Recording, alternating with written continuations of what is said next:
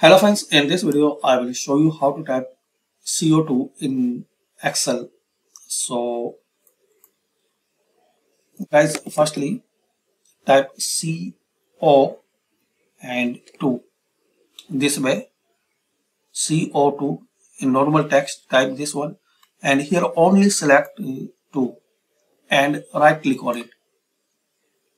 And here click on format cells and uh, guys you need to select subscript this one.